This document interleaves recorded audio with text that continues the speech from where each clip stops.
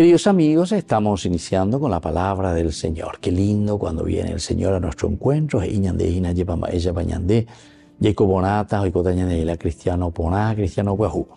Leemos de la segunda carta del apóstol San Pablo a los cristianos de Corinto. Estamos en el capítulo 11, 18, luego 21b al 30. Hermanos, ya que tantos otros se glorían según la carne, yo también voy a gloriarme de lo mismo que otros se y ahora hablo como un necio.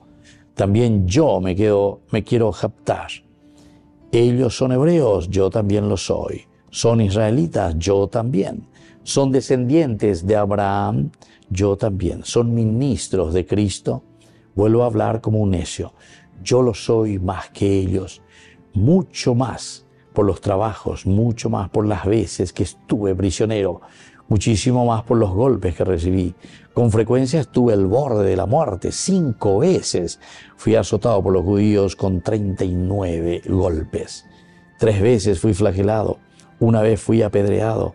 Tres veces madrugué y pasé un día y una noche en medio del mar en mis innumerables viajes pasé peligros en los ríos, peligros de asaltantes, peligros de parte de mis compatriotas, peligros de parte de los extranjeros, peligros en la ciudad, peligros en lugares despoblados, peligros en el mar, peligros de parte de los falsos hermanos, cansancio y hastío, muchas noches en vela, hambre y sed, frecuentes ayunos, frío y desnudez. Y así continúa Pablo.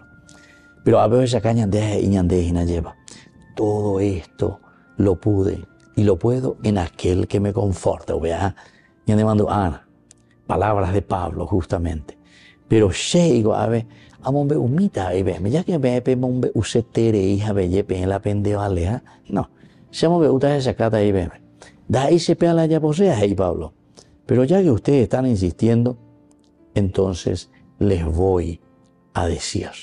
Y aquí entonces, queridos amigos, vemos verdaderamente a un apóstol que entrega su vida, que se entrega por la comunidad, que se entrega por los hermanos.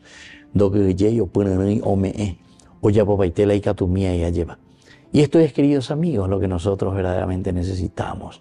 Esta gracia, esta fuerza de parte de Dios que nos anima, que nos fortalece. Y por eso después cuando Él comienza y dice, ¿verdad?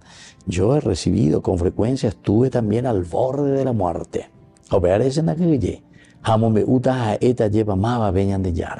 Por eso podemos entender mejor todavía aquella frase que nosotros la acuñamos también. Ay de mí si no evangelizara. Ay de mí si no hiciese llegar el evangelio de Jesucristo. Que la bendición de Dios descienda sobre todos ustedes, el Padre y el Hijo y el Espíritu Santo. Amén.